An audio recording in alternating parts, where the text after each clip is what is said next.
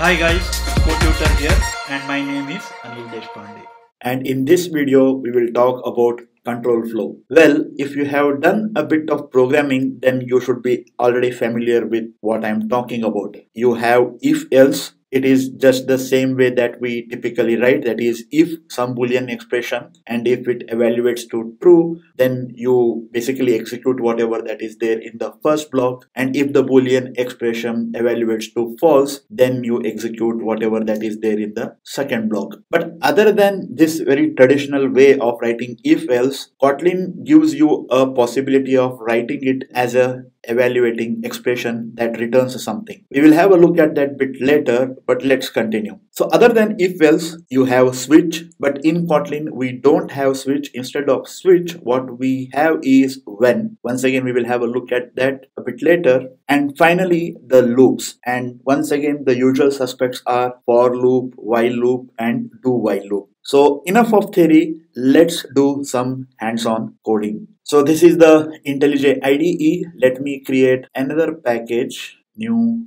package. com.demo.say control flows. And inside the control flows let me create a file called as control flow demo dot kt that is the extension. And here I will be writing a function main. Let me write a very simple if else statement. Let me declare variable which is called as maximum number which is of type int and I don't want to initialize it so let me make it nullable. And let me make uh, another variable. Let me make it val num1 is equal to 10 and val num2 is equal to 20 and I want to basically find out which one is the maximum among these two numbers and assign it to the maximum number so this is how we write it and after that let me print the maximum number you can write like this which you have already seen. The other way is can simply write like this also. This is also a perfect legal string interpolation.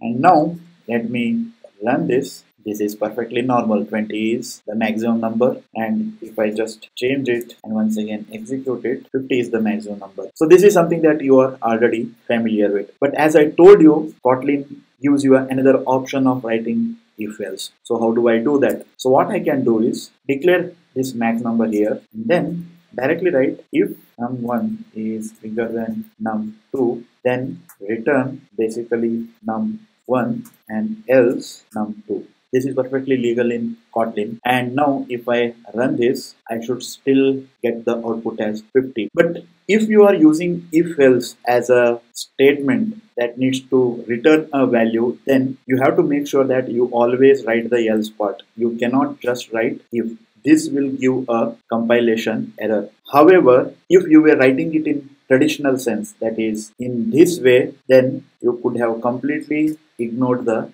else part. That is perfectly fine. So just make sure that if at all you are using if else statement which returns a value, you always use else part. Otherwise, it will give you compile time error. So this is about if else in Kotlin. Now what we will do is we will have a look at switch but in Kotlin we don't have switch we have this thing called as when so how do I use when? Let me declare a variable called as say planet position and make it 1 and then when planet position is 1 you can simply say you are mercury. And I can just repeat this.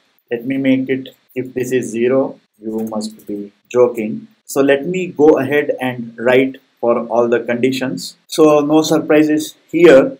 And else you can write say I am not sure what you are.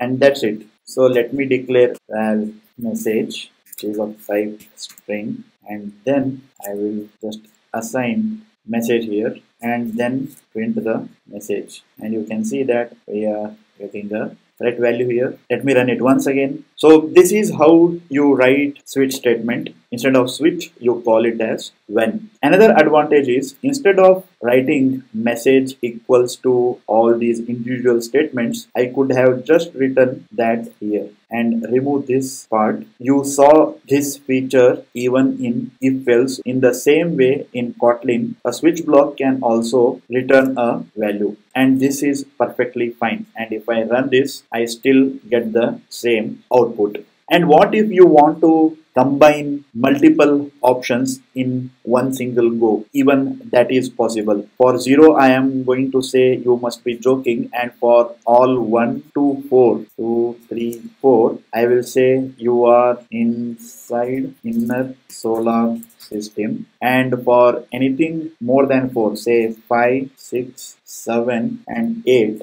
I am going to say you are in outer solar system. Now let me run this. So it will give 3 that is you are inside the inner solar system. And if i make it say 6 it is going to give me outer solar system. So there is no typical fall through that you have seen in the switch that is available here. You can write it like this. There is another way you could have written it. That is you could have used range operator. That is instead of writing 1 2 3 4 i could have written in 1, 2, 4. So you are basically saying that the planet position is in the range of 1 to 4 and here also I could have used the same mechanism that is in the range of 5 to 8. This is also perfectly fine and it will also give me the same result. You might be little bit unfamiliar with this in keyword. We will be studying this later as a part of Kotlin range and progression but you basically get the idea. In Kotlin these literals need not even be constants. They can even be expressions. We will see that and bit more in the next video. That brings us to the end of this particular video. Don't forget to like